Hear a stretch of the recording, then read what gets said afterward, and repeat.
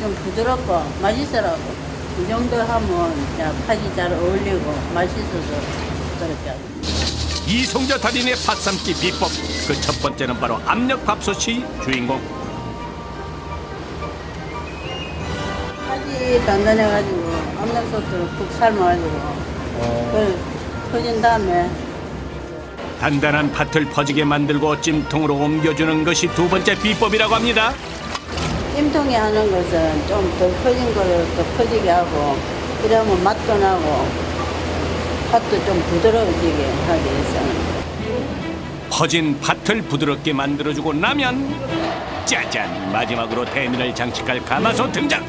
두 단계를 거쳐서 잘 삶아진 팥을 가마솥으로 모두 집합시켜줍니다.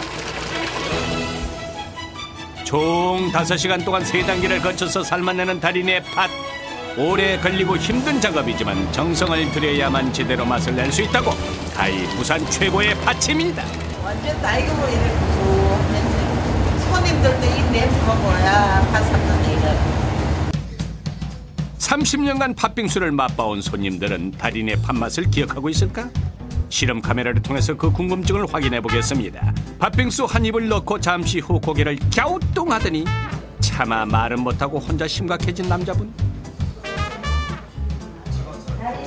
이어지는 두 번째 손님 역시 한 입을 먹더니 의아한 표정을 짓는데요. 뒤돌아 주위를 둘러보는 손님 갑자기 왜 주방 쪽을 쳐다보시는 거예요? 아니 바뀌었는가 싶어서 사장님이 깊은 맛이 없는 것 같아요.